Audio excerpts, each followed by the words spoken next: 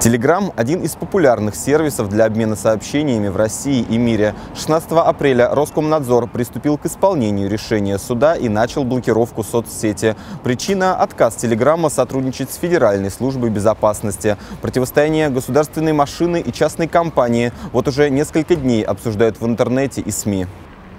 С августа прошлого года ФСБ требовала от Телеграма передать ключи шифрования, чтобы спецслужбы имели доступ к переписке пользователей. Повод – борьба с террористами, которые обсуждают свои планы через защищенные каналы связи в Телеграме. В итоге строптивую соцсеть решили полностью запретить. Непростая задача легла на плечи Роскомнадзора. Традиционные методы блокировки, правда, дают слабые результаты. У государства не получается исполнить свое же решение. У пользователей это вызывает насмешки и негодование.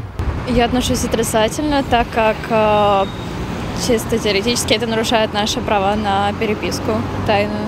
Роскомнадзор нарушает правила Конституции, и как бы они еще тем более блокируют все подряд сайты из-за Телеграма. Вот.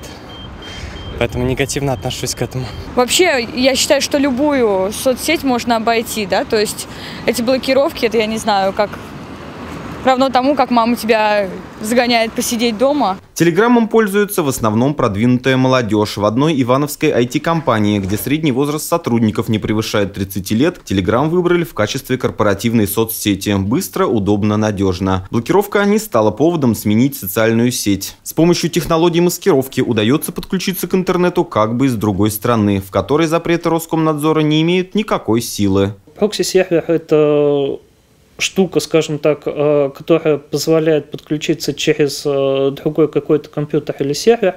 Э, соответственно, их можно поднять самому на любом компьютере. Вот. А VPN нечто подобное, только более защищено, скажем так. Пока Роскомнадзор борется с ветряными мельницами, руководитель опальной социальной сети Павел Дуров обещает встроить способы обхода блокировки в сам Телеграм. Впрочем, многие пользователи уверяют, что и без того все сообщения отправляются и приходят мгновенно, как и прежде. Оно периодически снова работает, то есть сообщения отсылаются, и, ну, периодически, но пока в таком состоянии. не очень удобным пользоваться. Запрещение свободы, свободы слова, и никакого смысла в этом нету. А террористов это точно никак не защитит, потому что у них есть гораздо более удобные сервисы для связи. Плюс VPN, который вообще не позволяет отслеживать никак. Я использую прокси-сервер, в принципе, все нормально. Я считаю, блокировка это вообще какой-то абсурд непонятный, просто противостояние новейшим технологиям, возвращение, может быть, к Советскому Союзу. Не знаю, зачем это надо, но вот так вот.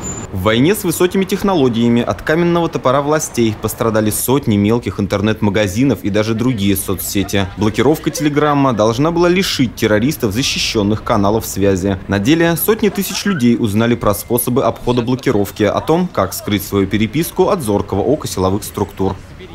За всю историю существования интернета в России блокировка Telegram, пожалуй, самая крупная атака на сетевое пространство. В целом, это не сильно ударило по рядовым пользователям. Однако, бытует мнение, что меры, которые даже сравнивают с репрессивными, нарушают ни много ни мало гарантии Конституции на тайну переписки и свободу слова.